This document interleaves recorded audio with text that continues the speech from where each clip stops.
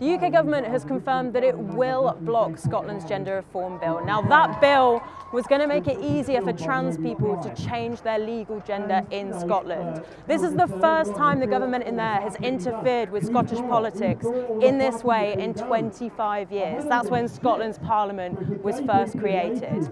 Now, Rishi Sunak's government says that there are chilling concerns about how this bill will impact same-sex spaces and the Equality Act. Stonewall says Rishi Sunak's government is retoxifying this debate, and this is what protesters outside Downing Street had to mm-hmm. say. It's an outright attack on democracy and it's an outright attack on trans people, and it's it baffles me that people have decided to use about 0.5% of the population as this political football. If you're going to be a transphobic government for yourself, fine, but do not stop other places from getting on with making things better for the trans community. Hmm.